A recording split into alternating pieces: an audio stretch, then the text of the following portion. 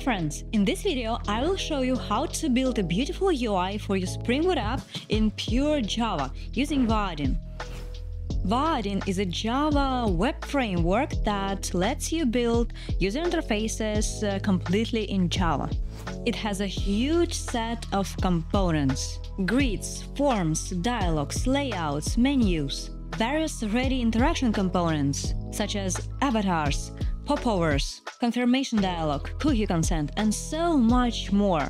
The components are ready out of the box, but they are also easily customizable. Plus, you can design UIs in Figma using Vaadin Figma libraries. The security support is also built in. So, out of the box, you get server-side UI state, CSRF protection, JSR 303 validation, and great integration with Spring Security. So, I will show you how to integrate Vaadin into your application, build a login page, main layout with a grid, a dialog view with the details, and an edit form, which is uh, secured by roles. I will use my NeuroWatch project for that. It couples Spring Boot, Spring Security, and MongoDB. The MongoDB instance uh, is brought up uh, via Docker Compose. The whole code is available on GitHub. The link is in the description, so you can pull the project right now and follow along. Okay, let's start. If you add the Vaadin dependencies manually, you will need the Vaadin core dependency, Spring Boot Starter Vaadin dependency, and also profile for building the UI for production. We will have a main layout and login page. First, let's create a login view class. It will extend main which is a Vaadin component that renders as an HTML main element. It also implements before enter observer, so the view can intercept navigation before the router enters it. Let's start with some useful class level annotations. The route annotation registers the view at the login route. The auto layout set to false tells Vaadin not to wrap this view in your app's normal layout. The page title annotation sets the browser tab title to login when this view is active. The anonymous allowed annotation allows unauthenticated users to access this route. Okay, let's create a login path constant used for the forum's action. Let's add the authentication context from Vaadin Spring Security it gives you helper methods like is authenticated. Let's also add the login form, which is Vaadin's ready-made form component. The out-of-the-box login form consists of two input fields, username and password, and two buttons, login and forgot password. And all of that is available at your fingertips with only creating the login form object. Let's make use of Spring Dependency Injection in the login view constructor. Here, we also instantiate the login form. Set the form's uh, post target with the set action method. On submit, the browser posts credentials to login. Let's uh, also hide the built-in forgot password button for simplicity's sake. The set size full method makes the root main fill the available space. Content div element creates a wrapper div and places the login form inside it. It is useful for styling and centering the form. The add method adds the div with the login form inside to the main component, so it appears on the stage. Also, let's create before enter method that uh, accepts the before enter event. It fires right before navigation enters this view. If the user is already logged in, we will not show the login page and forward down to the root route. Then we check the query string for uh, error. Spring Security appends this when login attempt fails. The login set error method uh, flips the component into its error state and shows the invalid username or password message. And here it is, our login page with a form. We have a username field, a password field, and also you can make the password visible. This button is uh, available out of the box with Vaadin. Okay, let's now create the main layout for our application. Create the main uh, layout class it should extend the app layout that gives you a responsive shell with a top navigation bar and a left side drawer out of the box. Let's add some annotations.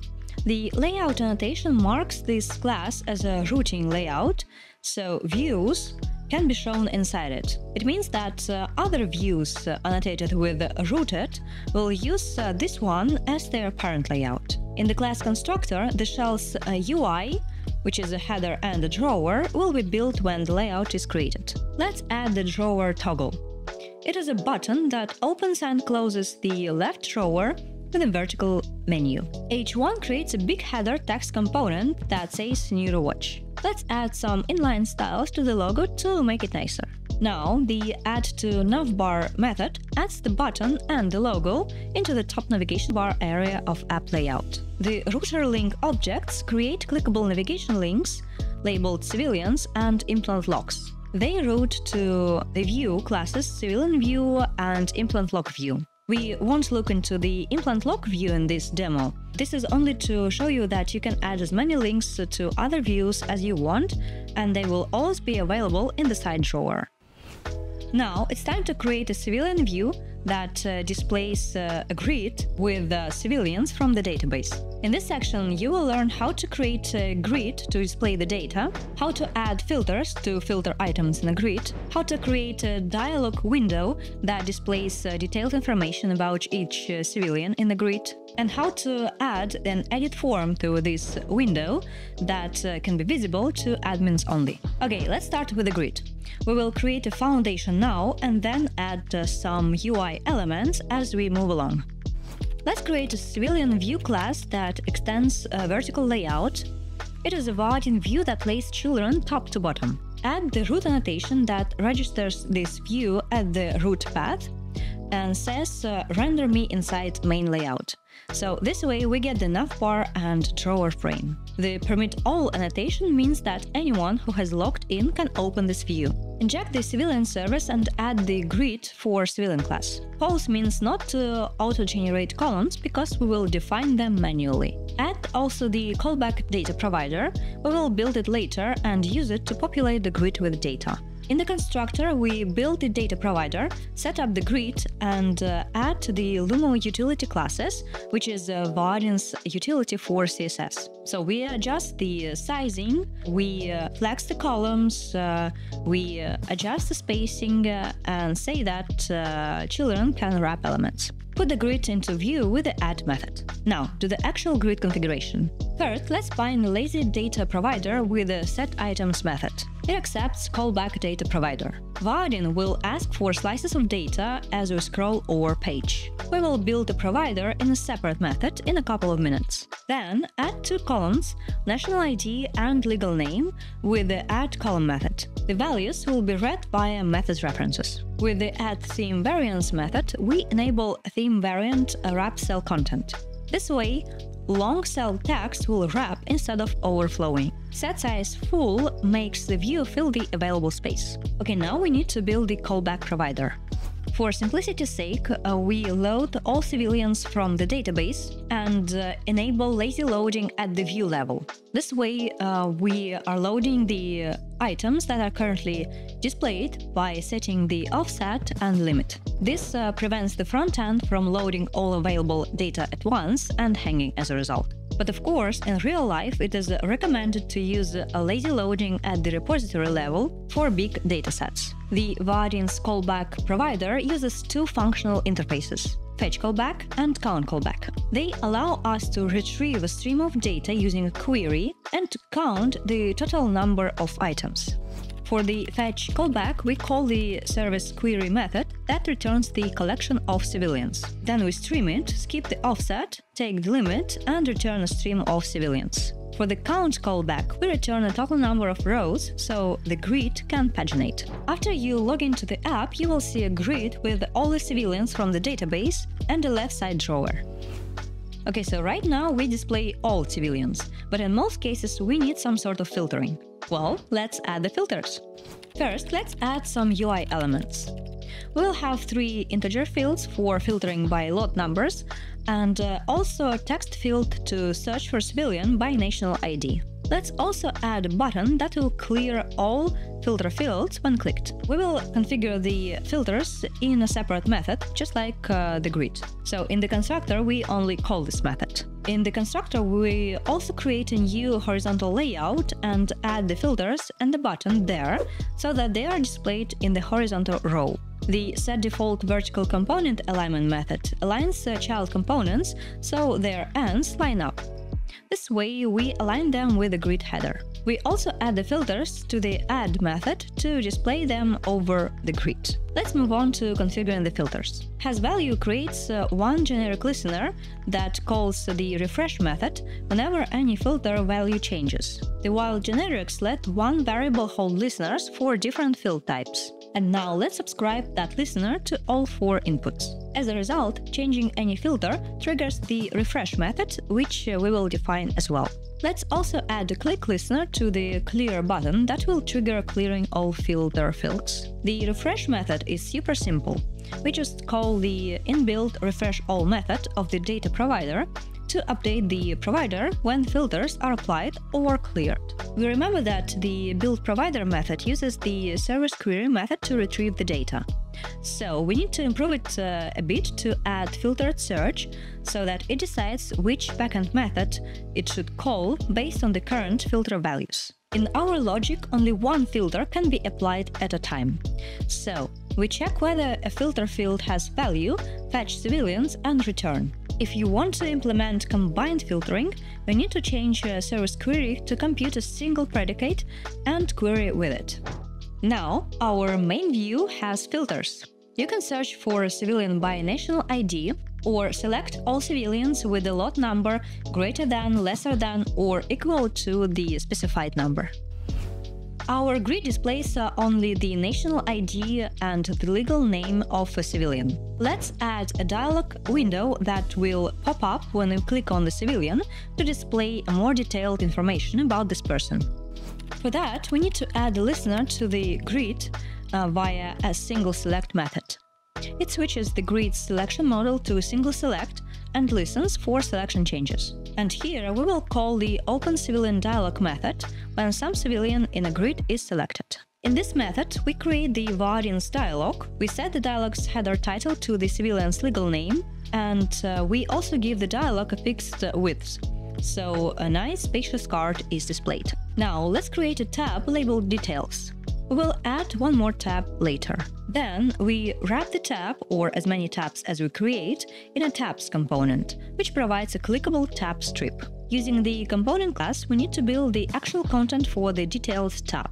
For that, we use a separate build details panel method, which we will define later. In a map that accepts tab and the component, we map each tab to its uh, corresponding content component. Even with one tab, this sets up the pattern for multiple tabs, so you can conveniently add them later. The div uh, pages creates container that will hold the tab pages. We also set the CSS position, hide all pages initially uh, with the set visible false, and then we show the details page by default with set visible true set uh, to details panel. Add selected change listener reacts when the user switches tabs. So we hide all pages initially, and then we show the page associated with the currently selected tab.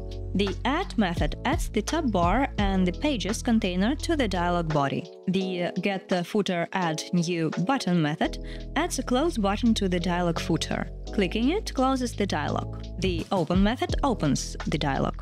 Finally, let's populate the details panel. In the build details panel, create a form layout that provides a form style layout for uh, label and value pairs related to the civilian. Then we just add all required read-only items to this form, setting a label and retrieving a relevant value from the civilian object. The dialog window should also display information about implants of a civilian. So let's create a grid for implants and populate each column with values from the implant object. Each column auto-sizes and flex grows to take space. After that, we fix the grid height to 200 pixels, so we get a small scrollable area instead of a giant table. We also enable text wrapping in cells to avoid the overflow cutoffs. Let's create a vertical layout to stack the form and the grid vertically. And then we just remove extra padding, spacing and make the content fill available space within the dialog's content area. Now, when you click on the civilian in the grid, a window pops up that displays the detailed information about the civilian and their implants. Finally, let's add another tab to our dialog window that enables the users with the role admin edit the civilians. First, let's create a has role method that accepts the required role and uses security context holder to verify whether this user has this role. Now, add a new tab called Edit tab to the Open Civilian Dialog method. Use the has role method to check whether the user is admin. If yes, add the new tab to the tabs. Create the Edit panel component, add the, it to the map together with the Edit tab and to the div as well. We will build this component in a separate method, uh, build edit form. Here, we create a text field and two checkboxes for civilian data we can edit. Then, we create a Vaadin binder for the civilian bean type. The binder handles uh, syncing UI fields with bean properties and validation. Then, using the bind method of the binder, we, surprise, bind the text fields and checkboxes to the relevant civilian values. The readBean method reads values from the civilian bean into the bound fields and sets initial UI state. Let's also add the save button with a click listener. Here we call the writeBeanIfValid uh, method of the binder. It tries to write the current field values into the civilian bean, but uh, only if all bound fields are valid. This method returns true on success. If true, we call the civilian service to persist the updated civilian. Then we call our refresh method to update the create and close the dialog window. Let's also add the cancel button to close the dialog window without persisting any changes. And finally, we return a vertical stack containing the input fields and the two buttons. The caller will add this to the dialog. If you log in as a user to the application, you won't see this edit tab. But if you log in as the admin, you'll see the edit tab in the uh, dialog window. You can change the values, and the updated data will be immediately displayed in the grid. The UI already looks quite nice. If you don't need custom design, you can use it as is. You can also use the light or dark theme provided by Vaadin out of the box. But in this video, I will also show you quickly how to add the custom styles. Go to the main class of our application and add the theme annotation. Here, point to the directory with our custom theme. In our case, it's called Cyber. Also, you can enable the dark theme uh, by default here. Vaadin by default looks for styles under Main, Frontend, Themes directory. So there, you create the Cyber directory, and Vaadin picks up all the CSS and JSON files from this uh, directory. This demo uses two CSS files, one for the login page and one for the main view. I won't describe the uh, CSS styling in detail here, you can find more information in the official documentation. So when you add the custom themes, you can run the application and voila, we now have a beautiful cyberpunk themed UI. We have only touched the tip of the iceberg of what you can do with Vaadin. I encourage you to try out this framework and drop me a comment if you want more Vaadin-centered videos. And of course, like, subscribe, and until next time!